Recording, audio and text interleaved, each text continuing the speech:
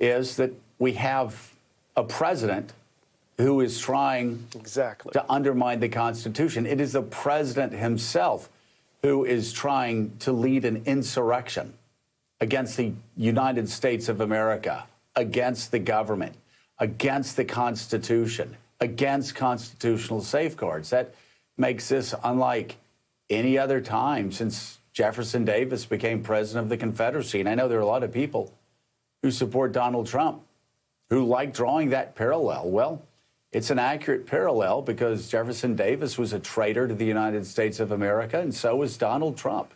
Uh, and he continues to be. Uh, and if any uh, of his supporters uh, don't think he is, I'd, I'd love to know what their justification is because this is a riot that started to kill the vice president of the United States oh, and to kill uh, the Speaker of the House uh, and to, to tear to shreds uh, the Capitol. Just just look at that information and, and, look at the, the pictures of them banging on the doors, wanting to kill people, uh, saying they were coming for them, um, screaming in, in anger and disgust when they went through the Senate chambers, screaming, "Where are they? Where where did they go?"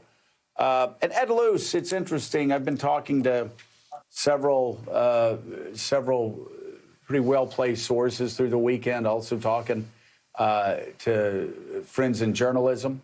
Uh, and uh, they're all coming to the same conclusion about Mitch McConnell. You know, the, the instant take on Mitch McConnell saying we're not going to take this up in the next week or so was that he was somehow trying to protect the president. It's taken some of us a little while to figure out that that's the last thing Mitch McConnell's doing. Mitch McConnell probably knew when he said he was going to delay it that the longer this plays out, the worse it looks for Donald Trump.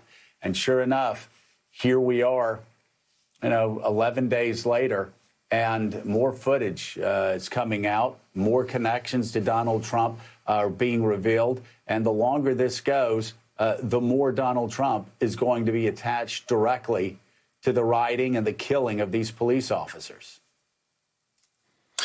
Uh, yeah, I think um, the arrests that are being made, the post the social media postings, the sort of um, cele- celebratory mea culpas that you've seen from so many of the participa- participants in this assault on, on democracy, I think speaks of, well, making the, the job of the police and law enforcement a little bit easier, but also the naivety of some of them.